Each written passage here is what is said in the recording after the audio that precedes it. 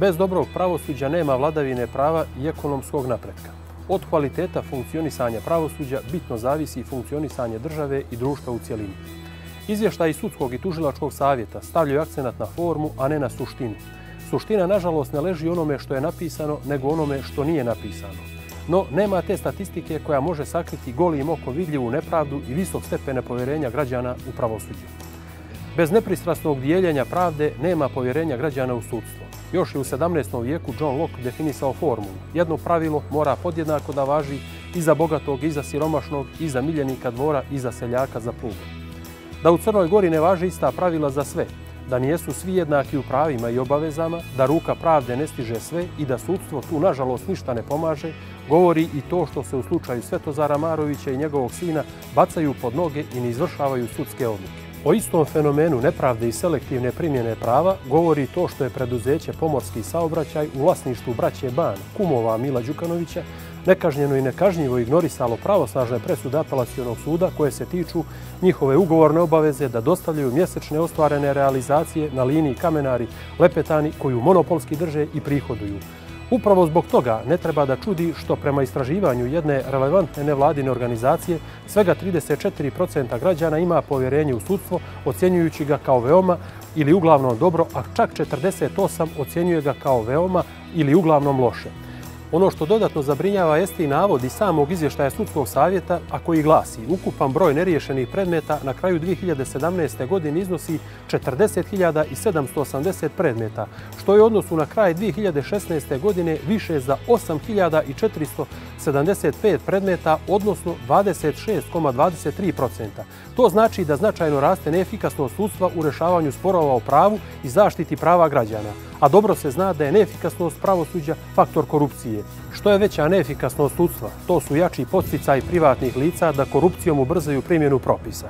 U izvještaju sudskog savjeta se vidi benevolentan odnos, pa čak i svojevrsno opravdanje za zabrinjavajuće zastarijevanje brojnih krivičnih dijela, a ni slova nema o preporukama kako da se preduzme borba protiv ovog izrazito krupnog problema. Zadatak tužilaštva je da brani pravni poredak ono mora da ga brani od svih počinilaca krivičnih dijela, bez obzira na njihovo ime i prezime ili socijalni status.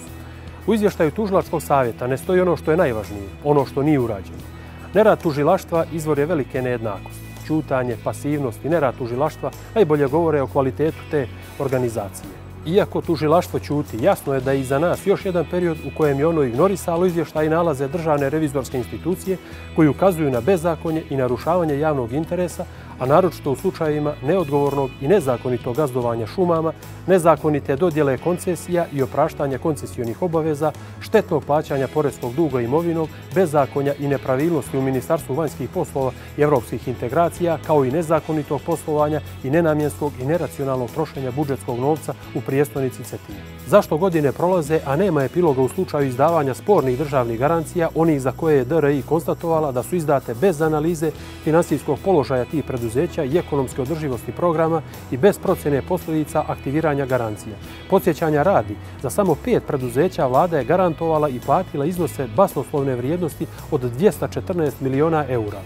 Iako tužilački savjet iz godine u godinu preporučuje dalje jačanje proaktivnog odnosa državnog tužilaštva u vršenju funkcije gonjenja učinilaca krivičnih dijela, posebno u predmetima organizovanog kriminala, korupcije, terorizma, ratnih zločina i pranja novca, od toga nema ništa. Dokaz za to i sama statistika u izvještaju tužilačkog savjeta. Može li se govoriti o proaktivnom odnosu ako se postupanje specijalnog državnog tužilaštva po sobstvenoj inicijativi mjeri sa svega 4,24% u ukupnom udjelu? Ni govora. Ako je tužilaštvo prost čekač tuđih inicijativa, onda nema ni efikasne ni iskrene borbe protiv kriminala. Da li je preispitana uloga tužilaca u nerasvjetenim slučajima vršenja krivičnih dijela kojima je izvršen udar u same temelje društvenog i pravnog poredka? Naravno da nije. Da li je razmotrena odgovornost tužilaca u slučajima zastarijevanja krivičnih dijela?